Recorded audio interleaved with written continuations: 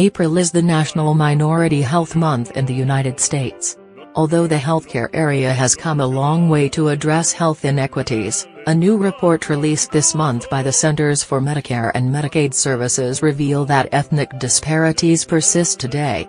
The report highlights significant differences in several reported experiences and clinical care steps with care in which whites receive favorable treatment over Hispanics, American Indian, Alaska Native, and African Americans.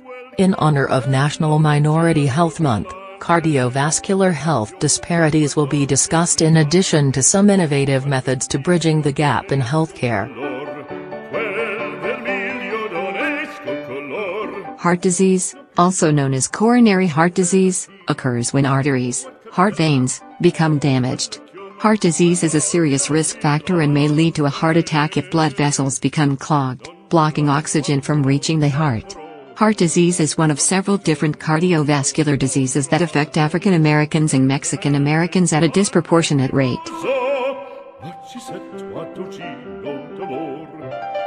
A cross-sectional study measured seven health factors and behaviors, commonly referred to as Life's Simple 7, LS7, which include smoking, blood pressure, body mass index, cholesterol, diet, hemoglobin A1C and physical activity. The study finds that the reason for the health disparity decline between African Americans and whites and Mexican Americans and whites is not due to minorities' health improving, rather, it is due to whites' health declining. Risk factors for heart disease include high blood pressure, hypertension, obesity and diabetes. African Americans suffer from the highest prevalence of high blood pressure in the world and new research suggests that African Americans may carry a gene that increases their sensitivity to salt. African Americans are also disproportionately affected by obesity. A significant number of minorities reside in food swamps, a term used to describe an area in which there are many fast food restaurants and junk food, with little access to healthy food. It comes as no surprise that food swamps have been associated with higher obesity rates for populations that reside in these areas. Innovative approach to heart disease treatment.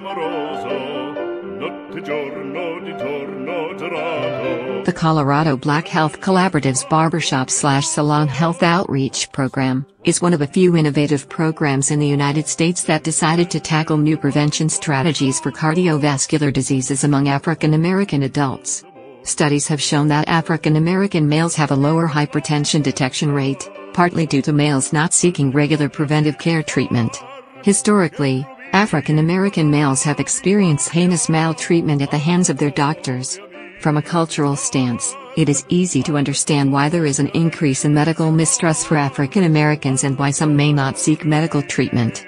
The Colorado Black Health Collaborative partnered with local barbershops and salons to facilitate screenings, health education and empower the salon patrons to take charge of their health, all occurring in a setting that felt familiar and community-oriented for the patrons.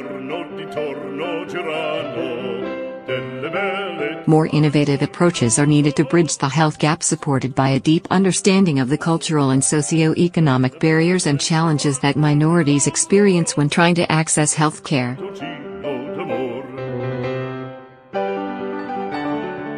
Blanca Gutierrez is a project coordinator at the Community Clinic Consortium, which is a member of Solano Coalition for Better Health. quella chioma, quell'aria brillante, quel vermiglio d'onesco color, quel vermiglio